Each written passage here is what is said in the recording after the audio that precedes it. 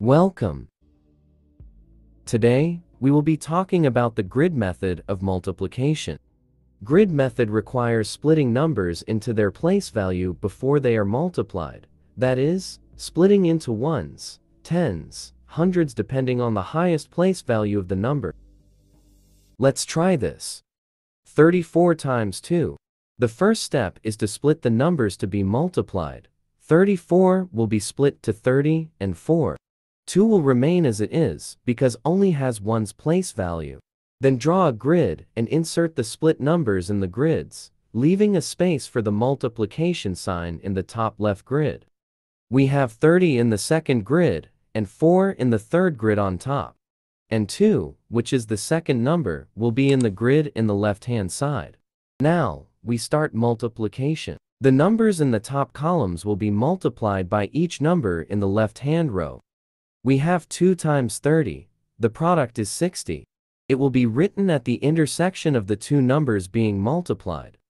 To the next side, we have 2 times 4, the result, which is 8, will be written at the intersection of the two numbers being multiplied. Now, we add all the products together, we have 60 plus 8. The result is 68. Let's try this too. 37 times 15.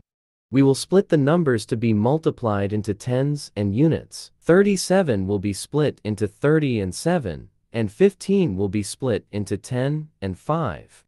Then, we draw a grid that will suit the problem and add the multiplication sign in the top left grid and insert the splitted numbers into grid. The greater number preferably in the top grids. So, we have 30 in the second grid and 7 in the third grid. We insert the second splits in the left grids in order of decreasing place value. That means we have 10 first, and then 5 in the row below. Now, we multiply the numbers in the top column by each of the number in the left-hand row. We have 10 times 30, the result, which is 300, will be written at the intersection of the numbers being multiplied the first number in the left-hand row to multiply the second number in the top column. We have 10 times 7, the result is 70, which will be written at the intersection of the numbers being multiplied. 5 times 30, the result is 150. The result will be written at the intersection of the numbers being multiplied. And 5 times 7, the result is 35. The result will be written at the intersection of the numbers being multiplied. The next step is to add all the products together. We have 300 plus 70 plus 150 plus 35. The sum equals 555. Now, try solving these with the grid method. 16 times 9 and 23 times 13.